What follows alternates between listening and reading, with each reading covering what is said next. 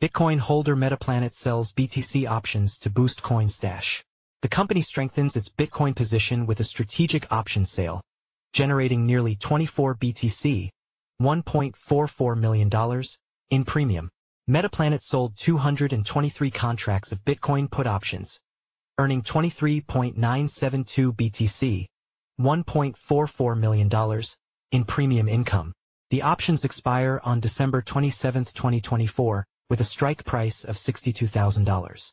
If Bitcoin falls below $62,000, Metaplanet will have to acquire an additional 223 BTC while keeping the premium income. Tokyo-listed Bitcoin holder Metaplanet Incorporated is now using Bitcoin, BTC, options to boost its coin stash, diverging from its peer, the U.S.-listed MicroStrategy's debt-fueled accumulation strategy. On Tuesday, Metaplanet announced the sale of 223 contracts of Bitcoin, put options at the $62,000 strike with a maturity date of December 27th. The transaction involved Singapore-based QCP Capital as the counterparty and generated a premium of 23.972 BTC, $1.44 million. Coindesk reached out to QCP Capital for a comment.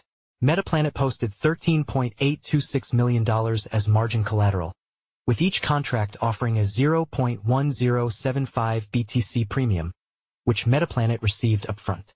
The transaction resulted in a nominal yield of 10.75% and an annualized yield of 45.63%.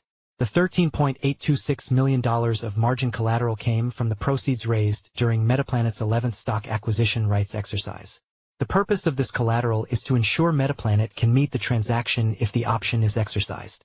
Strategic selling of puts. Metaplanet will use the premium received by selling put options to purchase more Bitcoin.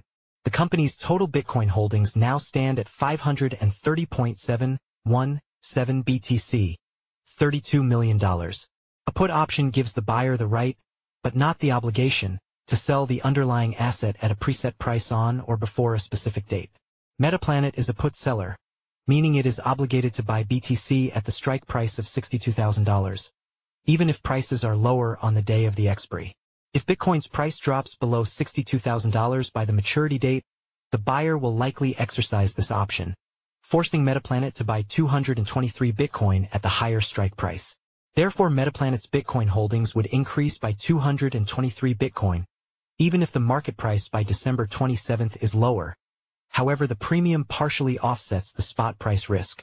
If Bitcoin's price is higher than $62,000 by December 27th, the buyer is unlikely to exercise the option since they can sell Bitcoin on the open market at a higher price.